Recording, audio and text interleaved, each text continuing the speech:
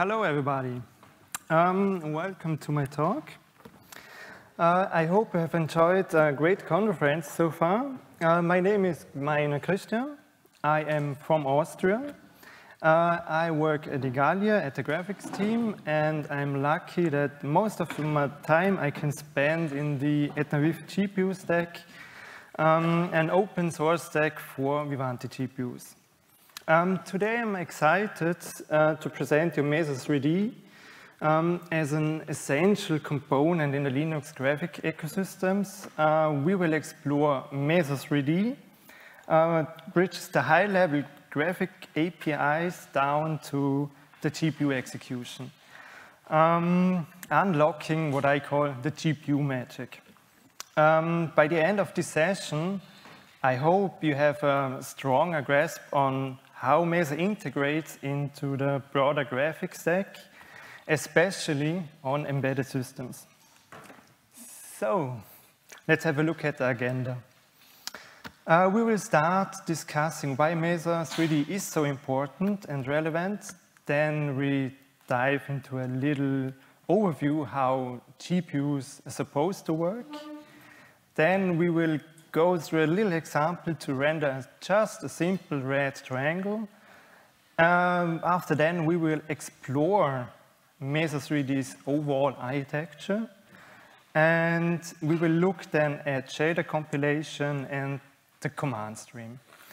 Uh, keep in mind, there's uh, um, an overview over this topic. There are so many technical details I cannot dive into, so I kept it very high level. So why should you care about Mesa 3D? So this conference is focused on embedded systems. Um, and most of these embedded systems have some kind of human-machine interface. And they are also often using automotive or industrial-grade system of stocks. Um, unlike consumer devices, manufacturers of embedded systems have to provide long-term support. We're talking about 10, 15, or even 20 years. Um, this means they are responsible for de um, delivering ongoing security fixes, bug fixes, and even software improvements over that period of time. And in the past, the um, closed source GPU drivers have made this difficult. Um, these closed source drivers are harder to update and have maybe some weak points that allow attackers to break into your system and gain root access. And that is a really um, serious security concern. And this is now why Mesa 3D becomes important. Mesa 3D is an open source solution that supports different rendering APIs like OpenGL, OpenGL ES, and even Vulkan. And by using Mesa 3D, manufacturers and developers have more control and flexibility compared to these closed source drivers. Um, with open source drivers, it is easier to fix these issues when they come up, you are able to optimize the, the complete stack to your target device. And you can ensure that the system stays safe and fast over the lifetime of this product. So overall, Mesa 3D makes it really easy to meet the long-term support goals, and you do not depend on closed source drivers. So before we should talk what Mesa 3D does, I think it is a great idea to um, quickly have an overview on how GPU works. There are some terms I would like to explain. And the overall idea is that you can offload specific workloads from the CPU to the GPU, and this overall allows um, faster, more efficient processing of complex visual data. So, um, in this GPU world, there's the term of a job. Let's call it a job. Um, and the job in, is a um, GPU operation that brings the GPU in a well-defined state and does a well-defined job that needs to be completed. Um, usually, you submit a job to the GPU. Um, and for a job, um, buffers play a really important key role there because they are acting as container for data. Um, these data can be, for instance, vertex data that you need to use for your rendering application. Um, and this structure that you have a job encapsulating all the needed information and buffers and data allows you to um, run them maybe in parallel if the GPU allows it. And, but, but this depends a little bit on the capabilities of the GPU. So this is really the basic understanding what a GPU job is. So um, then there's a big, big, big difference between CPUs and GPUs.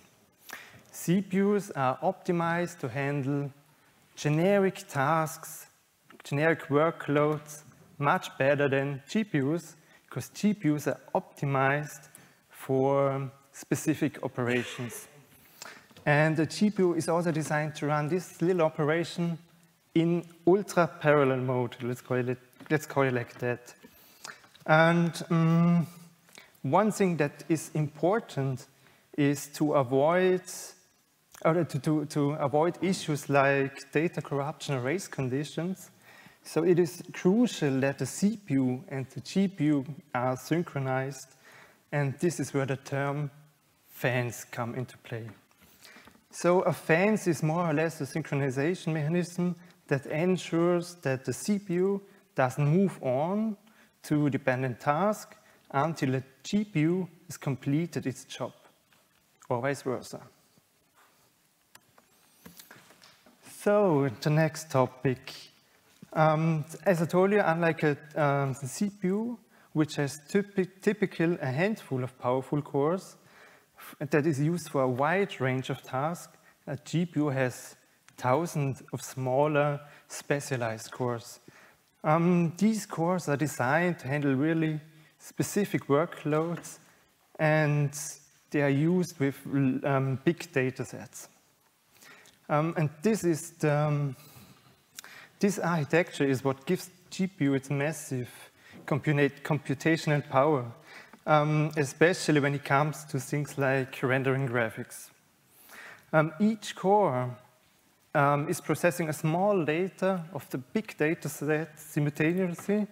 And this is the best selling point for a GPU.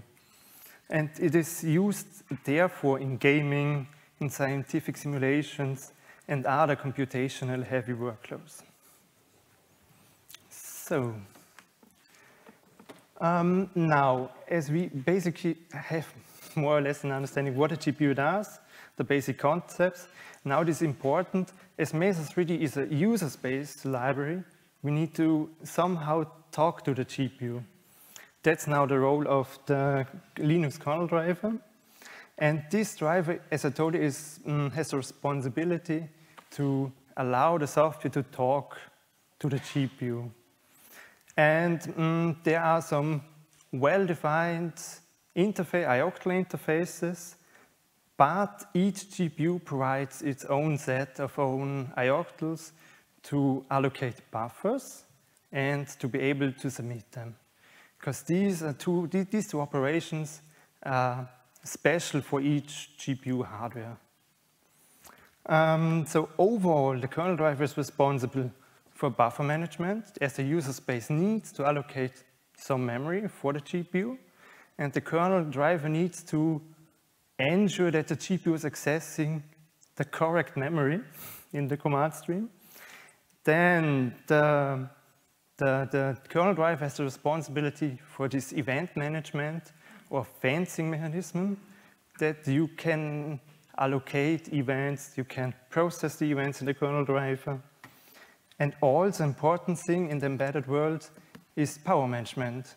Um, the kernel driver has the responsibility to power down a GPU if it's not needed, or to, to handle thermal throttling to prevent overheating. So um, now the kernel driver exposes some device nodes that, we, that the user space can talk to. Um, here on the slides, I have an example of an IMX-based board. And there are three nodes, as we can see.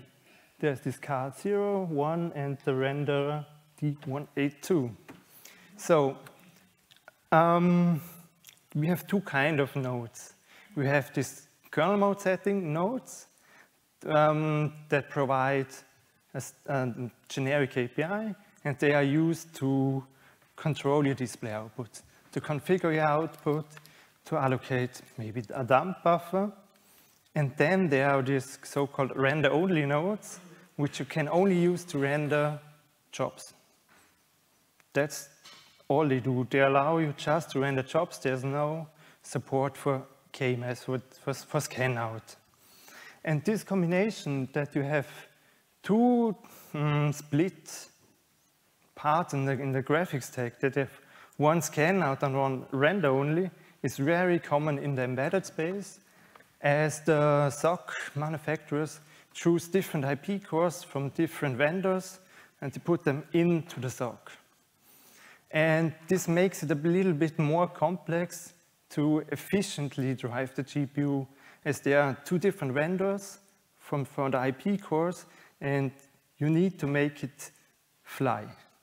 Let's call it that way. Um, so the kernel provides now the infrastructure to submit the job, just to submit the job. And the actual job creation, this is handled in the user space. And this is now where Mesa 3D enters the, the stage. So to get a better feeling how this, how, how Mesa 3D works under the hood, I thought about showing you how to render a simple red triangle. Um, this is an example that every graphic programmer does once in its lifetime, because it's the basic example you can do. Um, we are using here OpenGL ES2 APIs, and I skipped a lot of stuff, There's no error handling, I missed maybe some important parts, to just keep it simple and that it fits on the slides.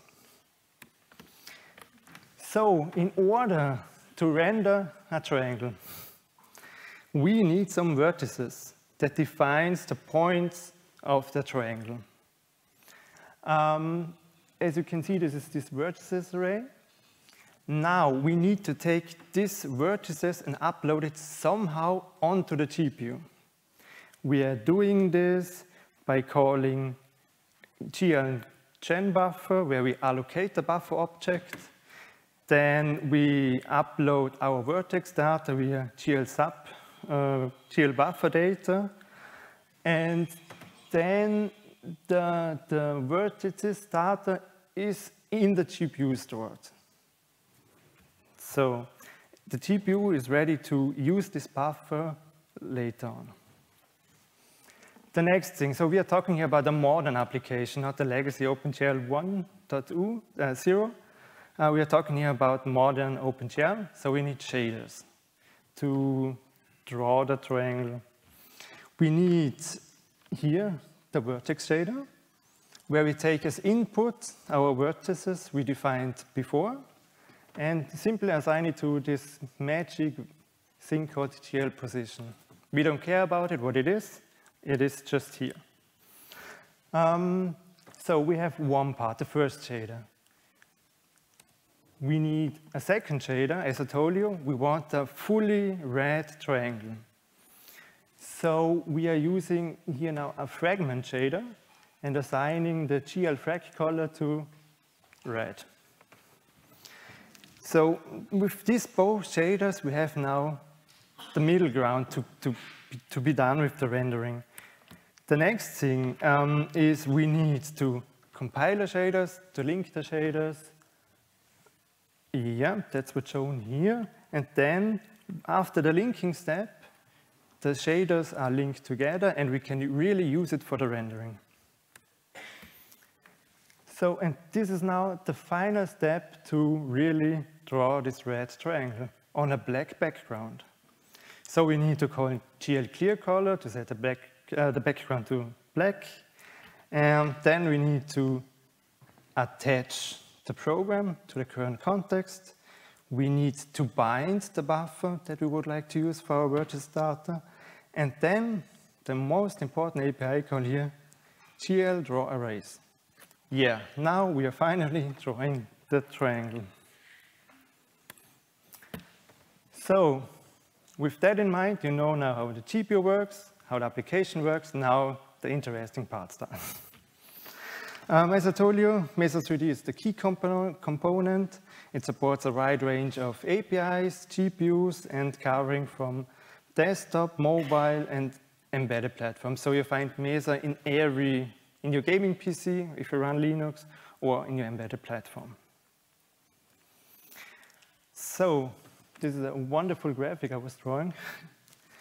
um, as Mesa is used as a foundation in the graphic system, we, Mesa is designed to share a lot of components between different drivers. So nobody needs to rewrite um, GLSL compiler, for instance. And there are um, different interfaces doing different jobs.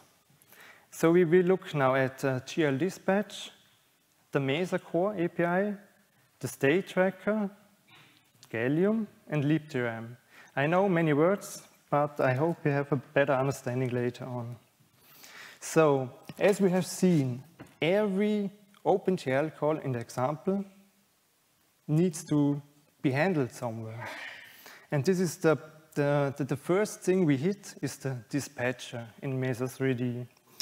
Um, every OpenGL API call we made has an implicit context object.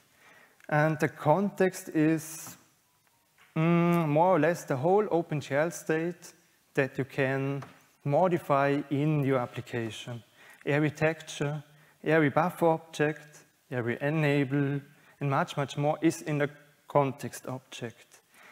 And so if you call, for instance, GL gen buffers, Mesa needs to use the correct context object to handle this operation because it is possible for an, uh, for an application to create multiple contexts.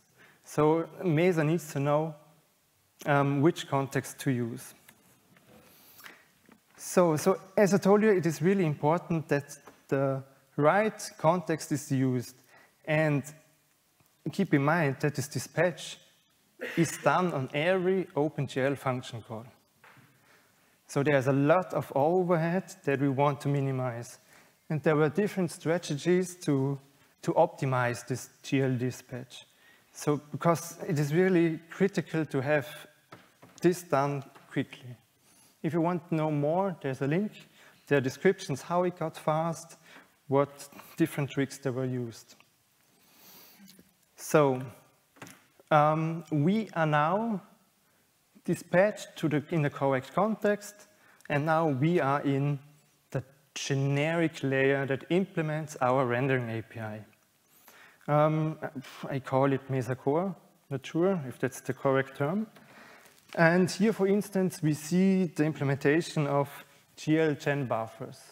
We see we get, we, we trying to look up the context, and we see that the context is an implicit parameter to every OpenGL function call in the state, in Mesa core. And the Mesa core is responsible for implementing the OpenGL, OpenGL ES APIs, but also doing validation of the API calls. Um, then the management of the context and the state it, it represents, and it also exposes the supported list of extensions and the supported OpenGL, OpenGLS 2 or the 3 version that the system can provide. So it is a really generic layer doing all the heavy lifting for us. So the next layer after Mesa Core is called State Tracker. So the idea behind this layering is that we have the generic code in, in the upper layers, and as we move down, we get more generic to targeting our target GPU. So the state tracker translates now the Mesa Core API and function into something that is more easier to write drivers for um, and to optimize. So you might ask yourself why there is a state tracker. And this is as historical reasons, because the next layer I'm talking about, that's the most interesting one, that's called gallium. And in the past, there were, were some classic drivers for old Intel GPUs that are not using the gallium thing. So as I told you, gallium. So gallium is the easiest API. So it's an, gallium is, is essential an API for writing graphics drivers in a large device agnostic fashion. It provides um, a middle ground abstraction that exposes all the services of uh, graphics hardware in a straightforward manner. Um, and this is responsible for translating, now we are going down, to translating the Mesa core state, for instance, the clear color, the text states, the binded buffers, and the draw command in something more generic. So you could write an application targeting only the Gallium APIs, and you could do rendering quite easy. Um, yeah, and if you write your first OpenGL driver, for instance, Gallium is the API you need to care about.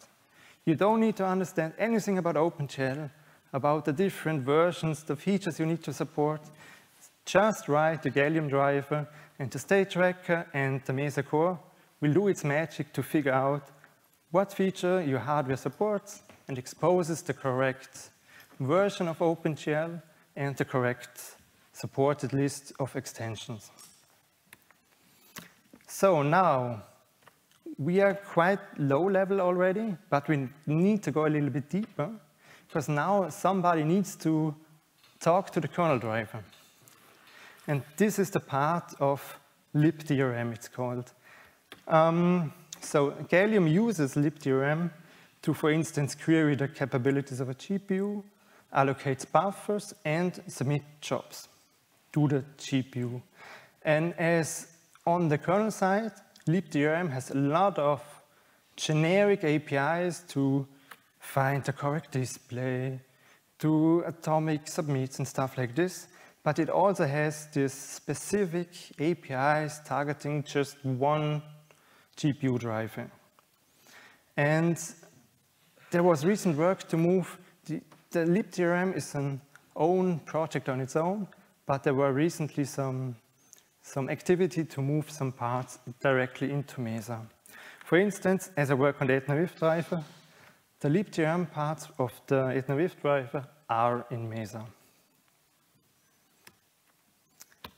So now, a quite interesting topic.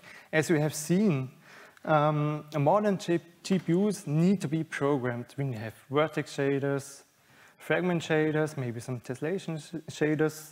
There are a wide range of different shaders, even compute shaders.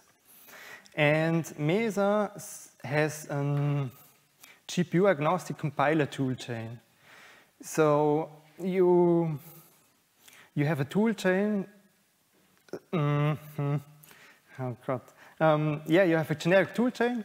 You don't need to write a GLSL compiler. You just reuse what Mesa provides for you. And in the end, your Gallium driver will be called with something you need to process further. Yeah. And um, the, the thing that's, that's in, in Mesa, so Mesa includes, as I told you, the GLSL compiler that takes the shaders as input and outputs something that's called NIR. And NIR is a flexible intermediate form of shader code that allows various lowerings and optimizations across different drivers. That's really cool. So the Etnaviv driver can use an optimization path that some AMD guy has written. So there's a lot of code sharing happening at this stage. And the, the really cool thing about NIR is that you can transform NIR into something that is better for your target hardware. If your target GPU doesn't support an, uh, square root operation instruction, you can do the lowering to get the same result, but maybe with more instructions. And NIR also allows us to emulate missing features on the GPU. Um, for instance, if your GPU doesn't support uh, rectangular texture coordinates, you can emulate this with NIR. This is really an abstract representation that is easy to work with, has wonderful, nice APIs.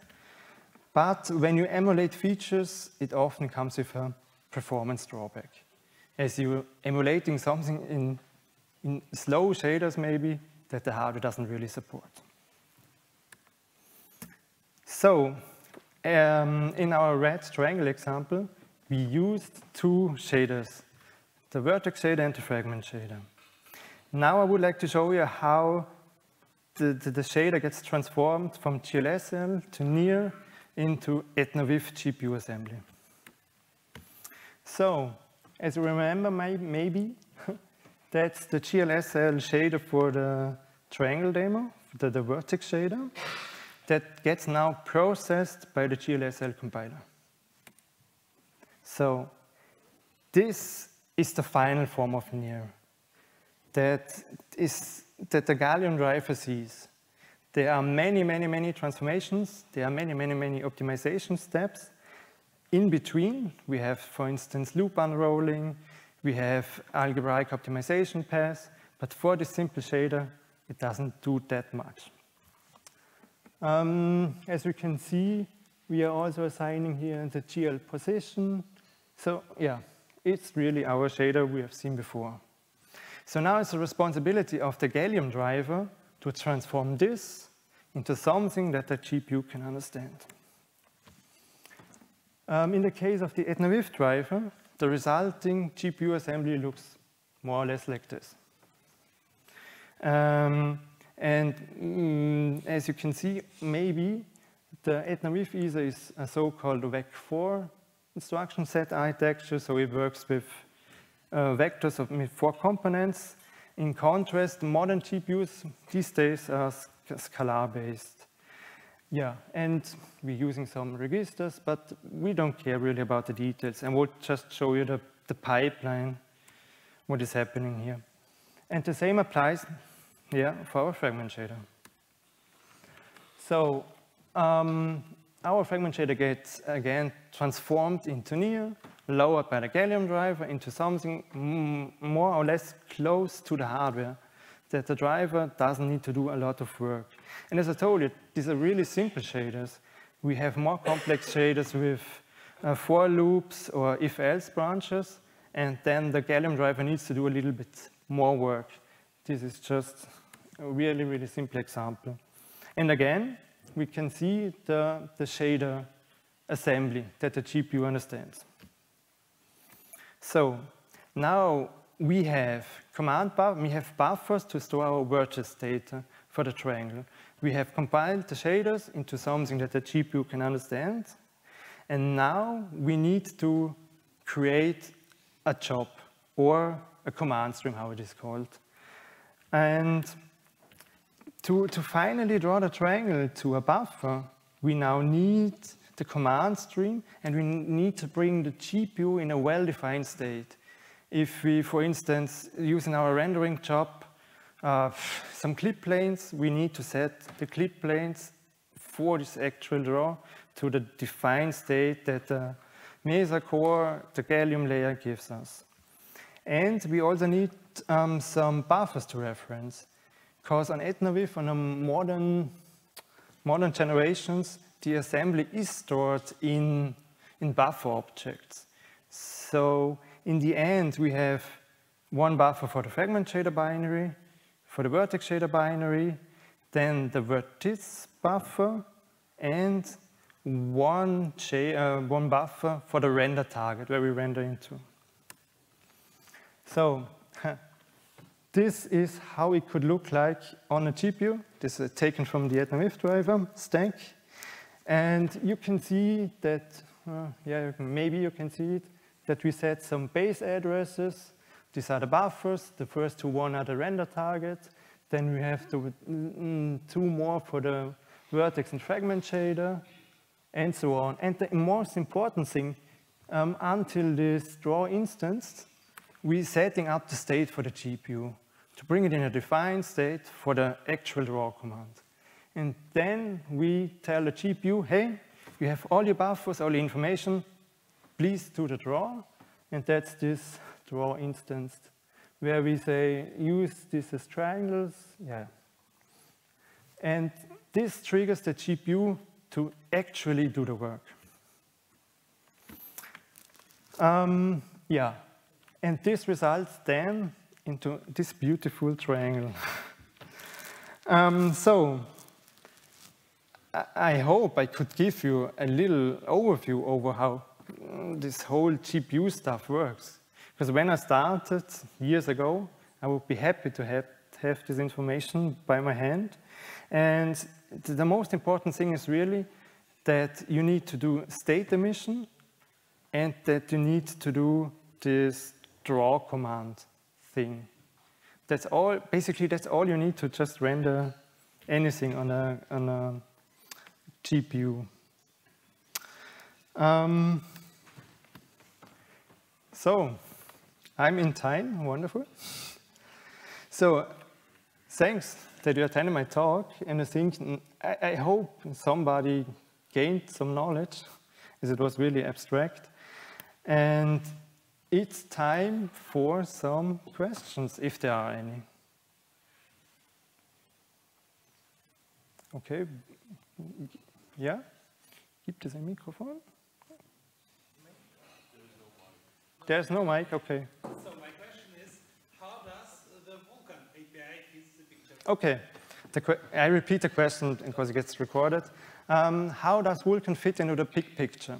So the great thing about Vulkan is that it is more low-level API. So the application needs to do a lot of the work that mm, the state tracker, that Mesa Core is doing. You could compare it to the, um, to, to the, the, Gallium API, which is a little bit low-leveler. And yeah, that, that's basically it. So all this, this, this state management thing that the OpenGL API does for you, you need to do it in your application. Because it is a more low-level API, the Vulkan API. But the cool thing is that there's still a lot of code sharing happening in the Vulkan driver ecosystem in Mesa 3D. Nice. So to follow up on that, how about OpenCL? Okay, OpenCL, yeah. Uh, what about OpenCL? Um, there is now Rusticl, that's a Rust-based implementation of the OpenCL API. And the cool thing, as I told you, focus only on the Gallium API because Rusticl calls into the Gallium API. You get the same thing like on for, for, for rendering the triangle. You get all the state you need, you get the shaders in NIR, and it's basically the same if you do a rendering job or OpenCL from a far perspective. Hey. So to follow up on that, and now with an OpenCL, is it going to happen? It's going to happen. okay, to, to, to tell you a bit more, I've been working the last two to three months exclusively on this feature. There will be a new backend compiler, and there will be an XDC talk about it. That got accepted. So yeah, and I'm passing almost all OpenCL piglits and uh, OpenCL CTS test suite doesn't look good too. So I'm on the finishing line, yeah.